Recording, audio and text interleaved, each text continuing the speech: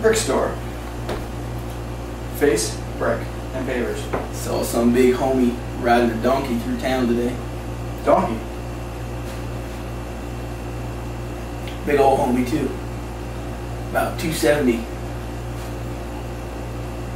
How does he ride a donkey? No, he's strutting on it like he was the stuff though. Roll up right on next to somebody with a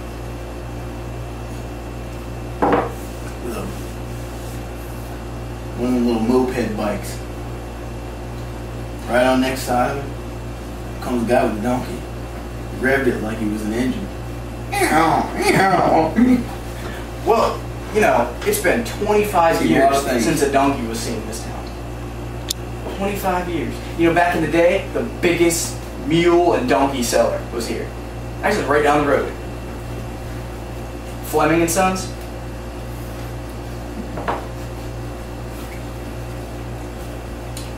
Well, I'll certainly give it to him. There are a lot of jackasses around here. Yeah, yeah. I guess it runs with the blood. It's in the water, probably. So many donkey carcasses under the water with that, that river we have down yonder. The blowery. Nice talking with you. Let's talk about